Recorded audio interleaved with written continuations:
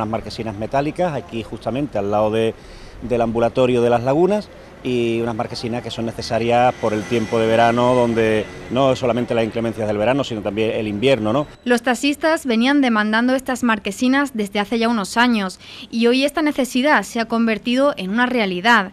Esta mañana han comenzado a instalarse en la parada de taxis del Centro de Salud de las Lagunas. Aquí 40 grados y dentro de un coche la verdad que la pasamos más bien mal, sí y es beneficio también para los clientes porque em, a la vez eh, esa sombra, ese, ese frescor del coche ellos también lo agradecen. Bajo estos techados tienen cabida hasta cinco vehículos. El material del que están hechos es policarbonato. Eso le quita tanto la calor y le entra la, le entra la claridad perfectamente. Y luego procederemos a la instalación de las marquesinas en camino en Camino de Coín, justamente al lado del día. ¿no? En total serán tres puntos localizados donde se instalarán estas marquesinas.